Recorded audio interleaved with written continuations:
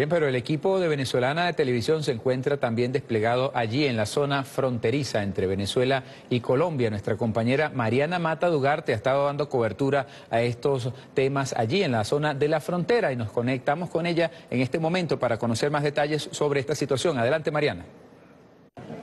Así es, amigos de Venezolana de Televisión, nosotros continuamos en el puente Simón Bolívar de San Antonio del Táchira.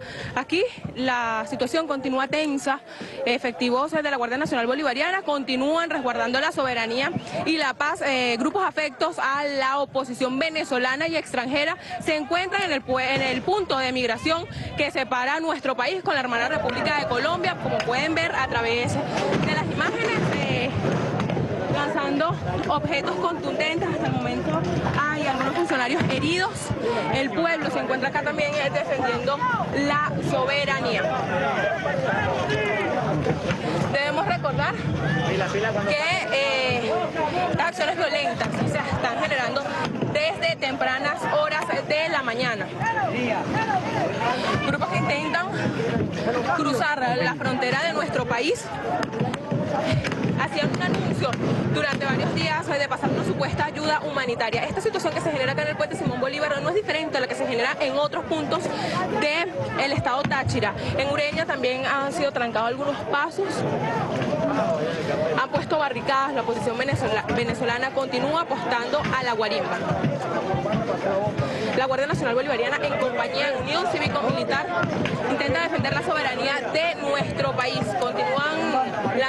Objetos contundentes hacia suelo patrio. Recordemos, recordemos que, recordemos que estas personas de oposición se encuentran justamente en la línea limítrofe, más hacia, hacia, suelo venezolano.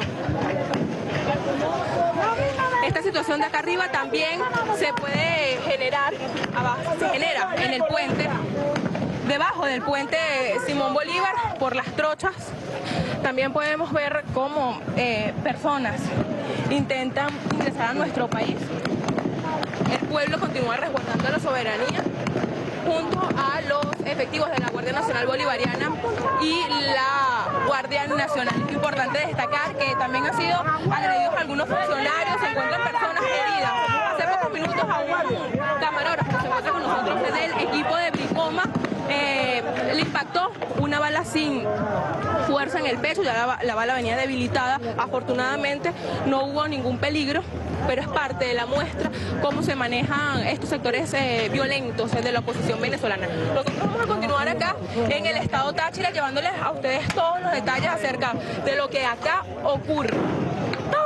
Le estaremos llevando todas las informaciones y detalles de la situación que se genera acá en el puente Simón Bolívar, pero también en otros puntos de esta entidad andina. Es la información que nosotros tenemos hasta el momento y como ya retornamos el pase al estudio venezolana de televisión. Adelante.